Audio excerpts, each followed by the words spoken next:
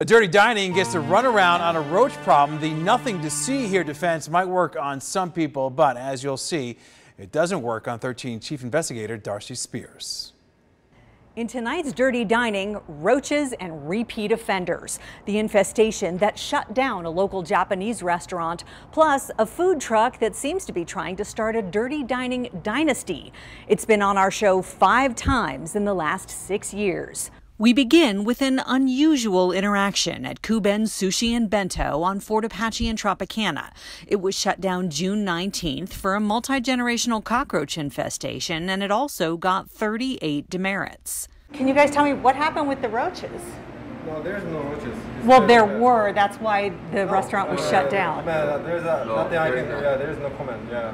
There's no comment. Yeah, no comment yeah. But there were roaches. No, there were. No. So the health have you guys need to see a copy of the health inspection? Owner Tae Hui Kwan interrupts, asking how we know about their closure. No, man, did you, did you see the, the, the paper was uh, Oh, on, on the door the, the, when we was shutting down? Referring to the Pink Health District sign the agency posts as a notice to the public on every restaurant they shut down for an imminent health hazard. No, I have a copy of the health inspection from the Southern Nevada Health yeah, District. It doesn't say any of the roaches in there. It, oh, it, yeah, it does. The, it doesn't. No, it does. Do you want me to get it and pull it up and show it to you? Yeah. So we do. And you can see here, this is the list of imminent health hazards, gross unsanitary occurrence or conditions including pest infestation. So that's the check mark in that box. Further down in the violation details, pests observed in facility, multi-generational cockroaches live and dead throughout facility, under the sink, on the floor, under the cook line in the fryer cabinet, shelf next to pans used for cooking. That's the very first violation on this report, and it's the imminent health hazard that caused you to shut down. And there are plenty of photos to support the inspector's observations. Are you still saying there's no roaches? That there weren't any when the health district was here? Well, what do you want me to do? Because I'm already dealing with the health department and then everything's clear right now. But what do I have to say to you? Kwan claims the health inspector advised him not to talk to us. But when you look me in the face and tell me that there was never a roach infestation, and I have the proof right here that there is, it's going to make our viewers concerned that you're trying to hide something. He reiterates that he's following the inspector's instructions about commenting on camera. So, are you still saying there's no roaches, or is the health district wrong? No, they, they were right. They yeah. were right. I'm not, I'm not okay. saying they were wrong. Yeah. And he didn't want to say any more about any of the other violations. A food handler touched his hair and continued with food prep without washing his hands. Chicken made two days prior was being held at an unsafe temperature in the make table and had to be thrown out.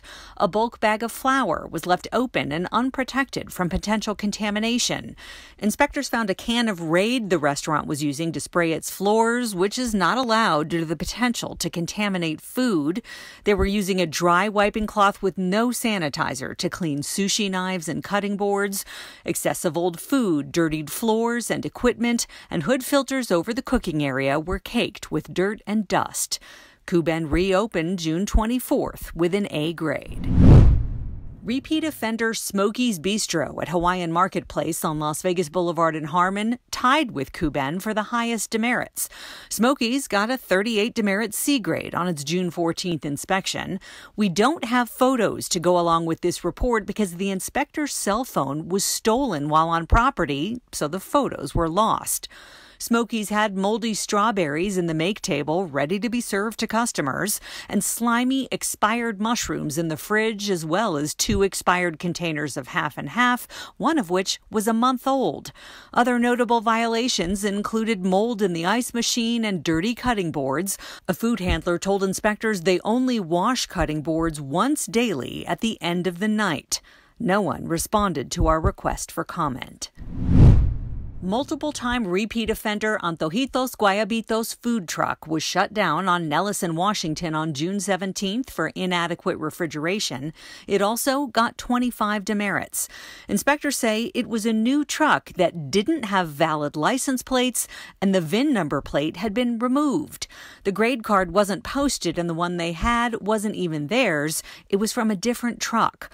As for the food, pico de gallo, ceviche, tomato and cucumber salad, raw fish, and raw shrimp all had to be thrown out due to unsafe temperatures, and beverages for sale to customers were submerged in contaminated water filled with old food and other particles. Owner Jorge Serrano was required to attend a food safety assessment meeting with the health district. He did not return our call or text for comment. A Korean fried chicken restaurant simply named Barbecue Chicken on Silverado Ranch and Maryland Parkway was shut down June 17th for inadequate refrigeration. It also got 30 demerits. An employee touched their cell phone, then handled food without washing hands.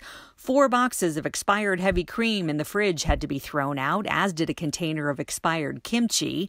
Tons of food was tossed due to unsafe temperatures, soda nozzles were dirty, and the ice machine was moldy. Barbecue chicken owner Emmy Proferosa sent a statement saying it was a day of bad luck and timing. Our walk in cooler broke down at the same time the inspector came. We had our contractor on site right away trying to fix the refrigeration, but we needed a new compressor. The next day, we passed inspection. Barbecue Chicken reopened June 18th with a zero demerit A grade. Fusion Street Food Truck is our final imminent health hazard closure, also due to inadequate refrigeration. Details on that and some interesting insight from the owner on our website at ktnv.com. Darcy Spears, 13 Investigates.